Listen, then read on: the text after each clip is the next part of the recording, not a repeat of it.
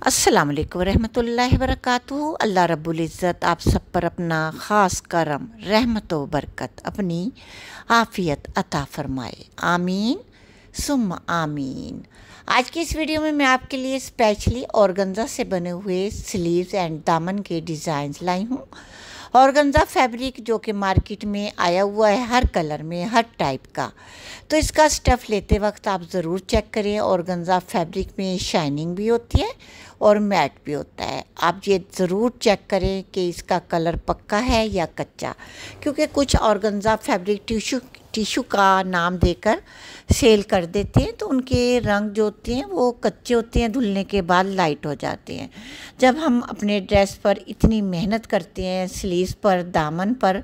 तो ज़रूरी हमारी ये बात हमारे लिए ज़रूरी है कि हम ऐसा फैब्रिक लें जो लगने के बाद, डिज़ाइनिंग के बाद उसका कलर, फैट यानी ख़राब ना हो। तो अपनी स्लीव्स की डिज़ाइनिंग, दुपट्टे की डिज़ाइनिंग नेक लाइन्स की डिज़ाइनिंग, दामन, ट्राउज़र बॉटम में, जहाँ भी आपने ऑर्गेन्जा की डिज़ाइनिंग करनी हो पिन टेक्स लगा कर करनी हो या लेसिस या जॉइंट लेस के साथ या एम्ब्रॉयडरी लेस के साथ या एम्ब्रॉयड ऑर्गेन्जा लगाना हो तो इन तमाम बातों को मद्देनज़र रखिएगा। मार्केट में प्लान ऑर्गेन्जा फैब्रिक भी मिलता है एम्ब्रॉयड भी मिलता है, प्रिंटेड भी मिलता है, क्योंकि ऑर्गेन्जा स्टफ़ बेशुमार टाइप का मार्केट में आया हुआ है। आप किसी भी तरह का ले सकती हैं, ग्लीटर टाइप का भी मिलता है, और कुछ और गंजा पर गोटा वर्क भी हुआ हुआ है, और कुछ और गंजा पर, जैसे कहते हैं हम, शीमर, ग्लीटर भी लगा हुआ होता है। तो इन तमाम टाइप के और गंजा को जो भी आपने लेना हो, शॉपकीपर से ज़रूर आप तसल्ली कर लें। कलर की भी, प्रिंट की भी, ताकि आपका ड्रेस खूबसूरत ही लगे।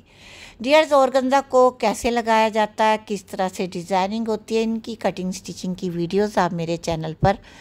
इनके डीआईवाई मौजूद है बिगनर्स बच्चियों के लिए। ऐसी वीडियोस ज़रूर स्पेशली हम बनाकर शूट कर कर अपलोड करते हैं, ताकि आप भी अपने ड्रेसेस में ऑर्गेन्जा फैब्रिक को लगाएँ और आपको मालूम हो ये कैसे लगाया जाता है सिंगल फैब्रिक या डबल फैब्रिक लेसिस के साथ और पैचेस और मोटिव्स के साथ भी आपको इनकी कटिंग स्टिचिंग की वीडियोस आपको मेरे इसी चैनल पर मिलेगी और बहुत ही आसान तरीके से हम अपने प्यारी प्यारी बेटियों को, बच्चियों को सिखाते हैं। ओके